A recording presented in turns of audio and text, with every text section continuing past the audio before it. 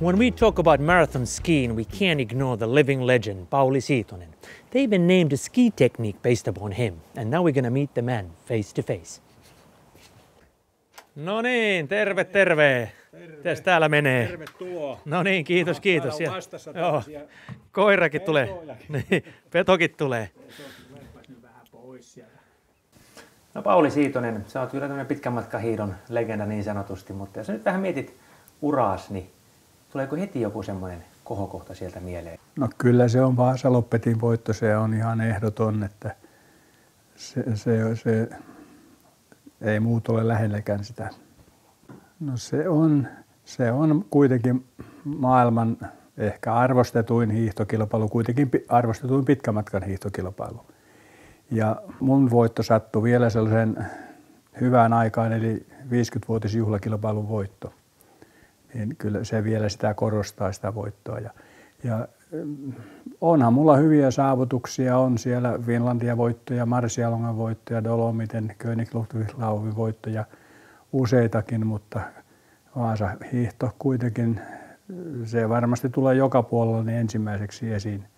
Paitsi että Suomessa sitä Finlandia hiihtovoittoja, niitä sitten muistellaan, mutta kyllä mä kuitenkin uskon, että se, jos jotain jää jäljelle minusta urheilijana, niin kyllä se on se Vaasahiidon voitto. Mutta mitä tuo Finlandia hiihto sulle edustaa?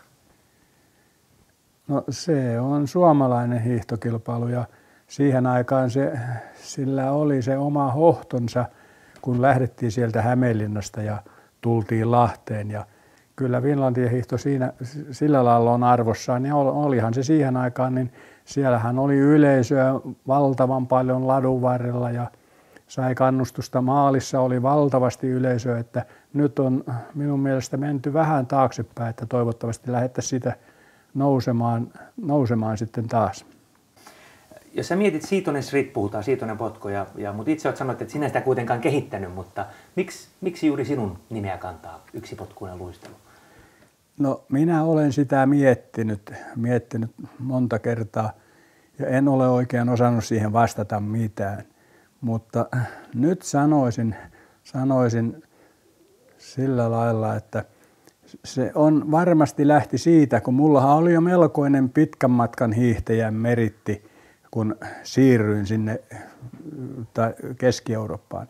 Mä olin jo voittanut Vaasahiiron ja, ja tuota, olin ollut olympiaedustaja. Ja jo, nyt sitten kun tuli nämä uudet muovisukset ja, ja siellä Keski-Euroopassahan nämä kelit vaihtelee, saattoi olla illalla vesisadetta ja, ja märkää ja aamulla voi olla pakkasta ja monta astetta. Ja, ja samallahan oli kehittynyt nämä ladutkin, että ne oli jo ajettiin isoilla alppikoneilla leveitä latuja, niin näissä muovisuksissa ei pysynyt voiteet tällaisella kelillä.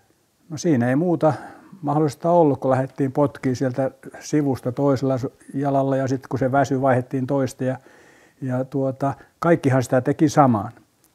Mutta varmasti se oli, oli sitten yleisön silmissä mun nämä aikaisemmat menestykset ja sitten mä yleensä halusin johtaa niitä kilpailuja tai olla ihan siinä kuitenkin kärjessä ja sanoisin, että aika, aika usein oli siellä johdossa, vaikka en sitten aina voittanutkaan.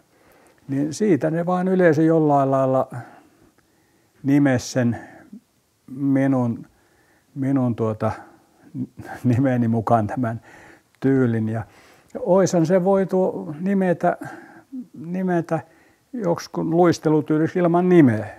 Että se siinä vaan on ongelma, että joku minussa täytyy sitten herättää huomiota siellä. En tiedä, oliko se mun välitön käyttäytyminen, että mä olin valmis joka paikkaan, mihin pyydettiin. Ja, ja tavallaan olin aika, aika tuota, hymyileväinenkin siihen aikaan. Niin, niin mysteeri se kuitenkin on, mutta näin siinä vain pääsi käymään. Eikö se hieno asia, No sun, sun on. nimeä kantaa? Onhan se tietenkin hieno asia, on se. Se on ehkä, että nämä nykyhiihtäjät, niin me ollaan niin kaukana noista harjoitushommista, niin me- meillä on ollut niin erilaiset nämä systeemit, että ei, ei, ei, ei, ei, ei, ei mä usko, että nykyurheilijat pystyisivät toteuttamaan sellaisia harjoitusjuttuja, mitä meikäläiset aikanaan teki. Ja sanopas joku esimerkki, miten, minkälaisia harjoituksia teit? No sanotaan, jos olin leirillä Rukalla tai Lapissa, niin ei se yksikään päivä jäänyt sinne alle 60 kilometrin ja eikä siinä välillä syömässä käyty. Aamulla lähdin ja sitten kun oli se tietty määrä 60 vähintään takana sitten, sitten saunaa ja sitten ruokailu. Että siellä mentiin sitä kumiteräsaappailla ja, ja tietysti lumen aikaan suksilla. Että mutta ei nykyään, ei, ei, ei kuka lähtee tällaista tekemään. Miten tankkaukset kisoihin ja miten kisojen aikana silloin syötiin ja juotiin?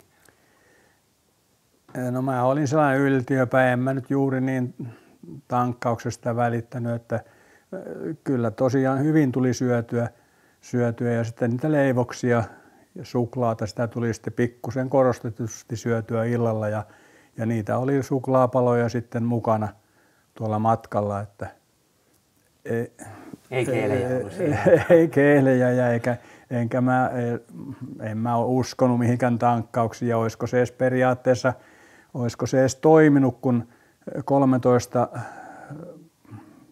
viikonloppua peräkkäin oli aikanaan mullakin pitkämatkan hiihto. Ja siihen viikolla vielä kaiken näköisiä kilpailuja, niin, niin tuskin siinä olisi mitkään, mitkään tankkaukset auttanut. Piti olla vaan valtavan kova pohjakunto. Että... Pohjakunto piti olla kova ja totta kai kyllähän ne verottaisi, jos hiihdetään 13 viikonloppuakin tuollainen ylipitkä matka. Ja varmasti ja se jossakin tuntuu. No sehän on selvää, että täytyy tulla sitten. Äh, vielä vähän tuon tankkauksia. Miten te, jo, mitä te joitte? Kyllä kuten juoda pitää, oliko mustikkasoppaa. Mitä siihen aikaan juotte kesän aikana?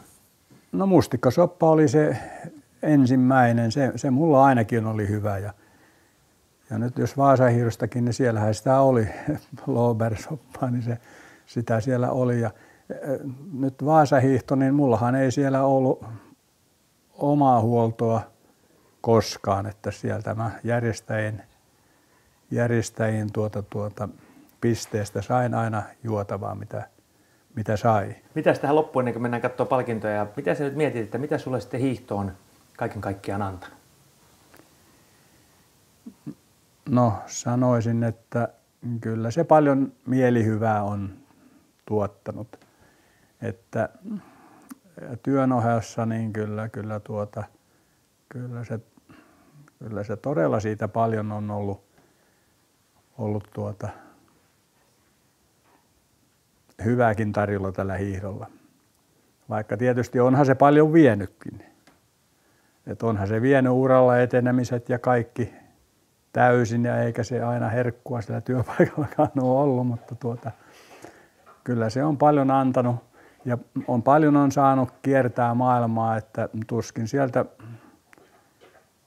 Venäjän rajalta Korvesta lähtenyt poika, niin tuskin se olisi tuolla kiertänyt ympäri maailmaa niin paljon kuin minäkin olen saanut kiertää. Ja, ja onhan sitten vielä tänäkin päivänä, niin kyllä aina kun menen tuonne palkintohuoneeseen, niin on se kiva muistella niitä. Tässä on yksi arvokas palkinto Paulin palkintokaapista, nimittäin ensimmäinen pitkän matkan hiidon voittopokaali vuodelta 1972. Pauli, mikä tämän tarina on? No, pääsin pitkän matkan hiihdoille, hiihtoon vihdoin viimein ja Tämä oli Marsia Longa, johon mentiin suurella porukalla Suomesta ja, ja menestystä tuli ensimmäinen palkinto. Heti saman tien. Saman tien. Sulla on paljon paljon täällä nyt pokaaleja, on jokaisella mielenkiintoisia tarinoita. Käydäänpäs pikkasen vähän läpi näitä. Laitaanko tämä tähän näin? Niin... On painavia. Eli tässä on niinku sarja, missä on Se. samasta kisasta. Kyllä, kyllä. Ykkönen, kakkonen, kolmonen. Ja neljä nelosta. Okei. Sä mainitsit, että tämä samanlainen on niin kuin Mauri Zoltillakin vai? Kyllä, kyllä. Äh. Mikäs tuo kotka tuolla? Se on König Ludwiglauhin voittopalkinto. Mm-hmm. Siellä oli aina tuollaisia puuveistoksia ja mulla on niitä kuusi kappaletta. Okei. Erilaisia puuveistoksia, tuollaisia melkoisen kookkaitakin. No miten tämmöisiä isoja palkintoja, miten näette, että ne oikein tuotte kotiin? Tuommoista ihan matkalaukkuun laitetaan. No minä liikun Ruotsissa aina omalla autolla ja sinnehän mahtui, mahtui kyllä, paitsi tuo kello tuolla, se, se tuotiin sitten muuten. No mites Keski-Euroopasta? Lähettikö ne perästä sitten vai? Ei, kyllä ne siellä vaan tuotiin matkatavaroiden mukana nämä pokaalit. Kaikki nämä pokaalit on sieltä tuotu matkatavaroiden mukana. Yksi mieluisimpia on täällä. Tämä on mun pitkän matkan uran viimeinen voittopalkinto, Mm-hmm. jossa sen aikainen maailman huippuhiihtäjä Billy Kohkin hävisi. Jäi Aivan.